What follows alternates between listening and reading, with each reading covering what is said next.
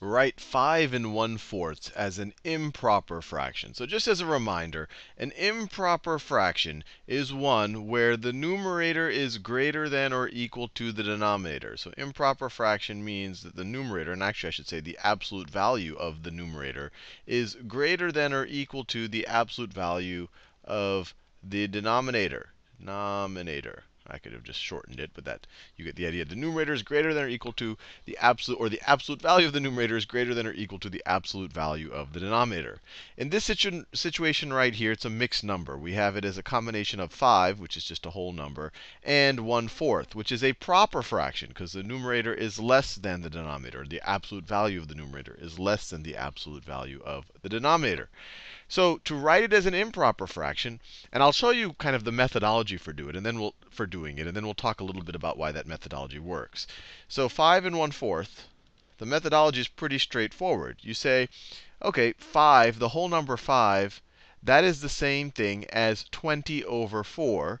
And so 20 over 4 plus 1 over 4 is 21 over 4. Or another way to think about it is 5 times 4 is 20, plus 1 is 21.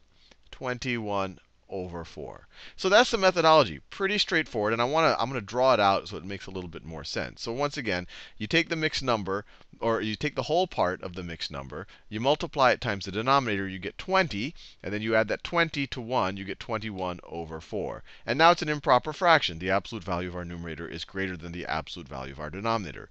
Now I do want to show you why this works. So to see why this works, let's think about what 5 and 1 fourths means. It means we have five wholes. So let's say that this is a whole. So that's one whole. And let me copy and paste it five times. So copy, and then let me paste it. Let me paste it. So that's 2. That's 3. That's 4. And then that is 5. So we have five wholes. So that's that's this stuff that I've drawn in green.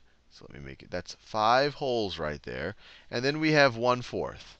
And then we have and then we have 1 fourth. So I'll do 1 fourth of a whole. So 1 fourth of a whole will look uh, like that.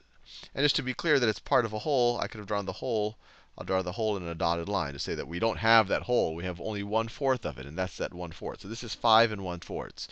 So to write it as an improper fraction, you can really view this 5 as some fraction over 4. And to think of it that way, divide each of these into fourths. Or this is one way to think about it. So this is, this right over here is 4 fourths. This is another 4 fourths. This is another 4 fourths. I should have copied and pasted this. This is another 4 fourths.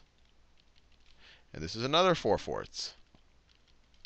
So now, how many fourths do we have? How many fourths? We have 4 fourths here, 4 fourths here, 4 fourths here, 4 fourths here, and 4 fourths here. So just what we have in green, just in what we have in green, we have 20 fourths. We have 20 fourths. That's what we have in green right over here. That is the same thing as 5. Each of these are 4 fourths. So this is, you could view this as 5 you could view this as 5 times 4 fourths, right? 4 fourths is 1. 5 times 4 fourths is 20 over 4. That's what we have right over here. And then now we can add it to that 1 fourth. Now you can add it to that 1 fourth, and you will get 21 we have the same denominator, so we can just add the numerators 21 over 4. So that's the conceptual understanding of why it works. But when you see any mixed number, it's a pretty straightforward process. Multiply the 5 times 4, you get 20. 20 plus 1 is equal to 21 over 4. And actually, let me just write that out just so uh, you get clear on what I'm doing. So 5 and 1 fourths, that is the same thing as e that's equal to 5 times 4 plus 1 over 4. And this is why.